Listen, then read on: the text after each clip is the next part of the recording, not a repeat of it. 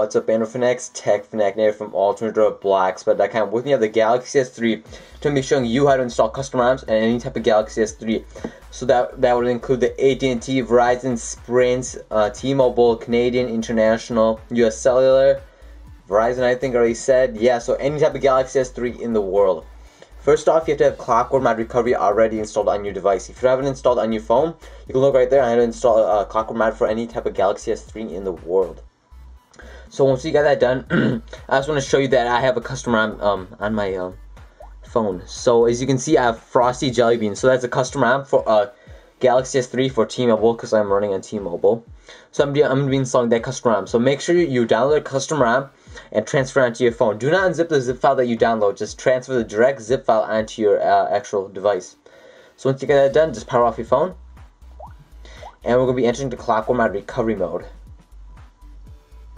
So give it a goodbye and I'll come back booting up with the custom ROM of your choice. Okay, it's turned off.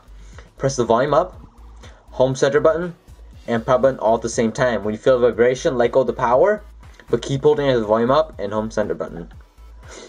So all three. Let go of the power when you feel a vibration. And just keep holding until you enter into recovery mode.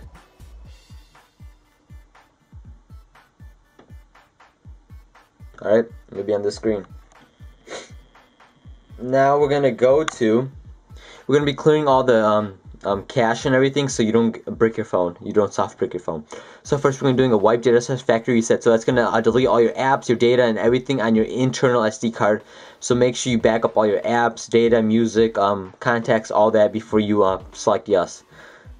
So we're gonna select it, and now it's gonna do a factory reset on your actual device. So as you can see, it says complete at the bottom.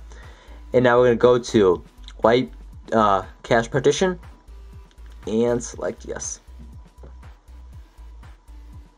Now we're going to go to advanced and select wipe Dalvik cache. And you can navigate using the volume up and down and power button. Okay, once that is done, go back, install zip from SD card, choose zip from SD card, and find that um, custom ROM that you had. So mine was actually on my internal, or yeah, I'm in internal. So I'm gonna be choosing um choose from internal SD card or external. I'm sorry, choose from external. If yours on internal, just choose the first one. Choose it from SD card. so I'm gonna choose external, and right there, as you can see, I have Frosty Jelly Bean. Give it a few seconds to focus. Uh, Frosty Jelly Bean. So I'm gonna be selecting that one, and select yes to install it. Now, once this, is, once this is done installing, do not just um, start using it once rebooted. So please watch the whole video or you're going to run into problems when installing a custom ROM. So I'll be back this is done. It'll take about 5 minutes, so be patient. Okay, Clockwork Mod Recovery has finished installing uh, my Frosty Jelly Bean custom ROM. now we're going to go back and select Reboot System now, the very first one using the power button. So when your phone finishes rebooting, do not touch it at all. So it's gonna reboot. It might have a custom boot animation. Let's see. If, let's see in my case if it does. So let's see if it boots up and has a custom boot animation. And no, it doesn't. So it has a stock uh, boot animation, but yours might have a custom boot animation. But when your phone finishes booting up, do not touch it for 15 minutes. Yes, one five. 15 minutes. Do not touch it. Or if you touch it uh, before 15 minutes, you're gonna run into problems. So I'm gonna let it boot up and I'll be back once I'm booting up and I'll tell you uh, what point when you shouldn't be touching your phone. Okay, about 5 minutes after um, it was done on the boot animation, you'll be on this screen. Do not touch your phone at all. Do not even touch the start screen or anything or you're going to run into problems. Let it boot up for 15 minutes total, including the boot animation. Okay, if you do not do that, then you'll run into problems. You'll run into force closes.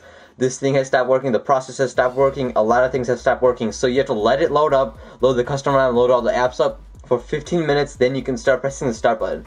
So I'll be back after 15 minutes. Okay, it's been 15 minutes, and I'm going to go into settings and show you I'm on a custom ROM. So I'm going to go into settings and show you I'm on Frosty Jelly Bean ROM. So I'm on an actual Jelly Bean. So about device. And right there, you can see I'm on 4.1. The kernel build number, so you can see it's Frosty Jelly Bean 4.1 version 1. And I'm going to prove even more, I'm going to um, hold down on 4. Uh, uh, no, actually keep holding it. And you'll get this jelly bean. Now I'll hold down. And you get all these little jelly beans. So that'll show you them on actually jelly bean on the Galaxy S3. Even though it hasn't been officially um, released. So that's how you install um, a custom ROM on your Galaxy S3. Hopefully this tutorial was informative and helpful. if you're a new beginner into uh, the Android world and into a new Galaxy S3 device. Thanks for watching, guys. Don't forget the subscribe button if you haven't to help support me and to get more tips, tutorials, and all this to be not notified. And check out my channel for more Galaxy S3 um, tips and tricks like uh, free Wi-Fi tethering for your T-Mobile phone, uh, how to do an Android backup, and much more for your Galaxy S3 device. And give this video a big old thumbs up if you don't mind. Thanks for watching, guys. I'll see you next video. Yeah.